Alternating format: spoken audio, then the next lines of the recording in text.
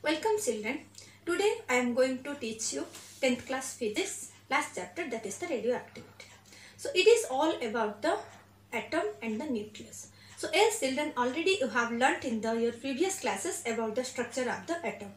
So three scientists put forward a theory about the structure of the atom. One is J.J. Thomson. J.J. Thomson.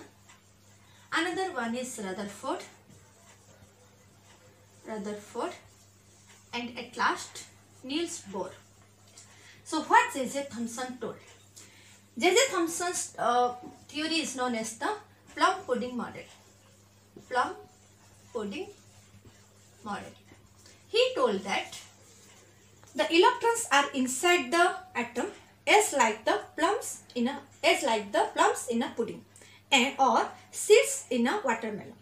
Then after it is declined and one of the scientists Rutherford told that the electrons are revolving around the nucleus in, in orbits and the nucleus consists of protons and neutrons which is present in the center of the atom. But later on also it is declined and Bohr put forward a theory about the structure of the atom. And what he told that? He told that electrons are revolving around the nucleus in the certain orbits that is the K, L, M, L like this. And in K cell, L cell, M cell and N cell, a certain numbers of electrons can present.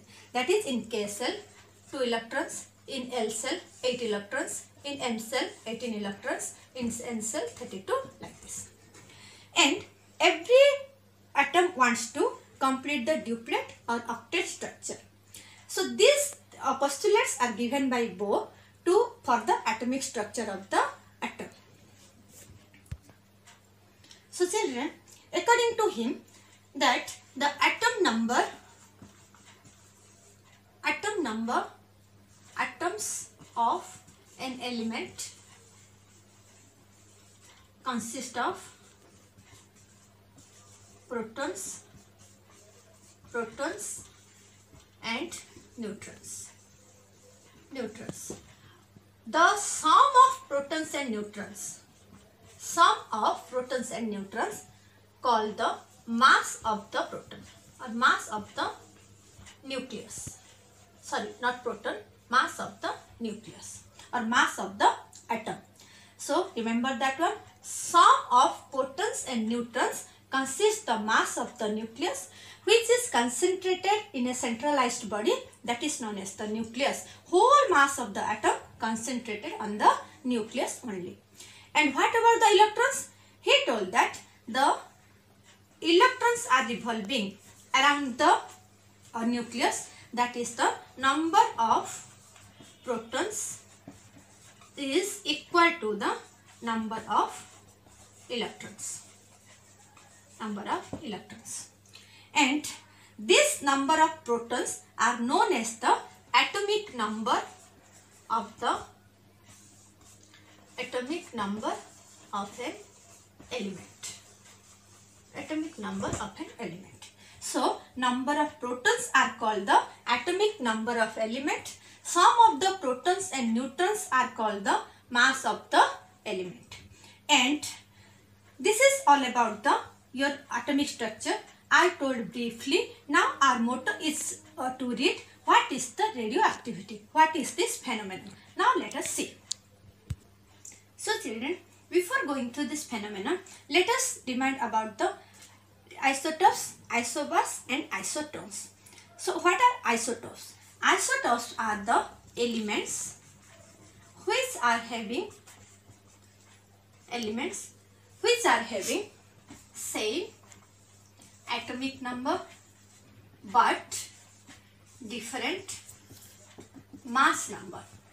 For example, hydrogen has three isotopes that is the here the atomic number is same that is 111 and the mass number is here 1 here 2 here is 3.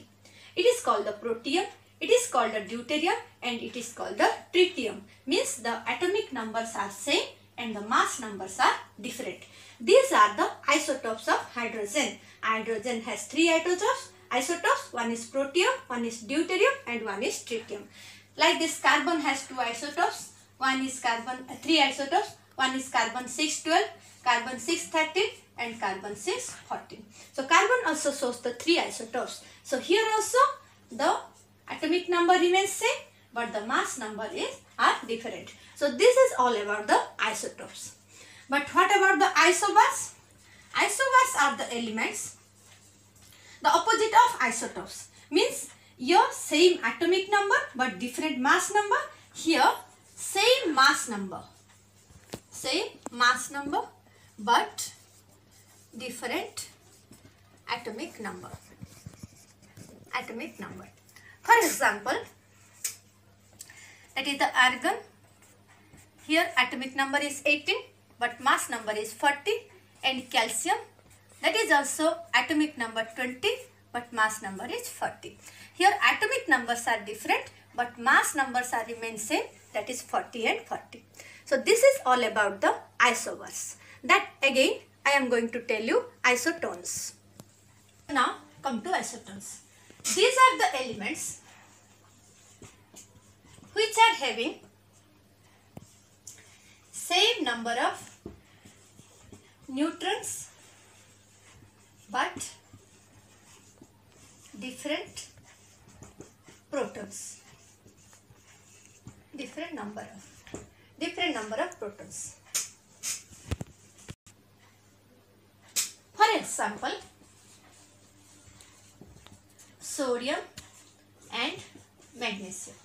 Here this is 11 this is 23 here this is 12 this is 24 so in this case the atoms are same.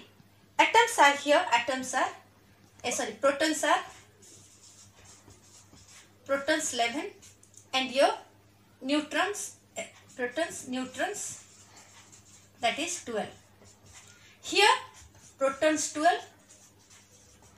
and neutrons also 12 so this condition shows the isotone conditions. Sodium and magnesium are the isotones as their proton number are same but your neutron number is different. So children this is all about the isotopes isobars isotones now see about the phenomenon of radioactivity.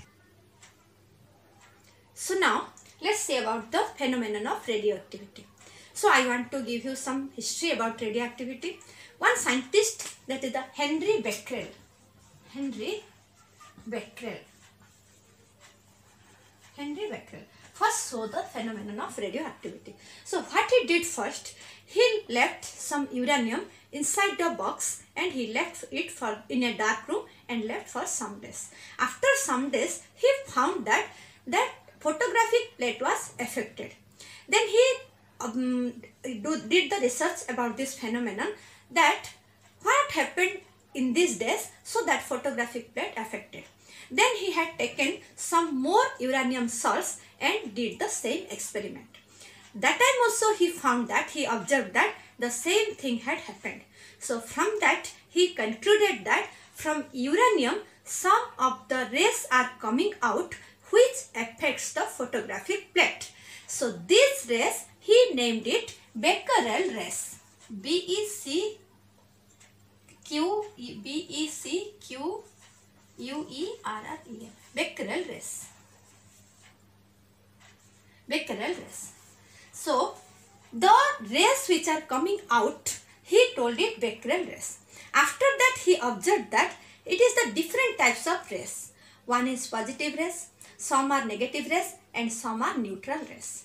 So, he named the positive rays as the alpha rays.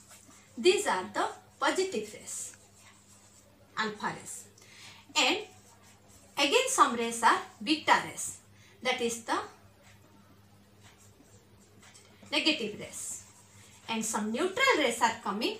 These are the gamma rays. Gamma rays. These are neutral. Neutral. And again he had seen that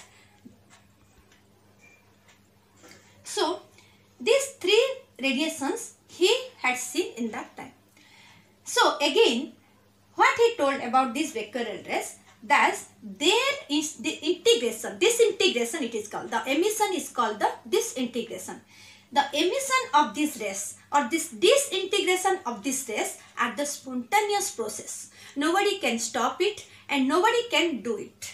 Automatically these radiations are coming out from some specific substances. These specific substances are called the radioactive substances like your uranium. Radioactive substances like your uranium. So, from these radioactive substances, radioactive rays are come out which is known as the alpha, beta and gamma rays. So, from these rays, he told that this, this phenomenon radioactivity come and he told that that radioactivity phenomenon is a nuclear phenomenon. It is not affected by any physical or chemical changes. And what is the major cause of radioactivity? That when neutrons are become more than the protons, a large number of neutrons are present when inside the nucleus, when inside the nucleus, inside the nucleus, number of protons are more sorry number of neutrons number of neutrons are more than the protons. Very very important thing that number of neutrons are more than the protons. Neutrons are more than the protons that time what happens? The element the nucleus of the element becomes unstable because neutrons are very very large number. So automatically that nucleus starts emitting the particles what are known as the becquerel rays or alpha beta gamma rays. This spontaneous emission of the uh, rays is known as the phenomenon of the radioactivity. And those substances from where the radioactive uh, radioactive rays are coming out is known as the radioactive substance and the phenomenon is known as the radioactivity. So children to, this is all about today's video. The next video I will teach about the properties of alpha, beta, gamma rays and how the disintegration occurs. Thank you.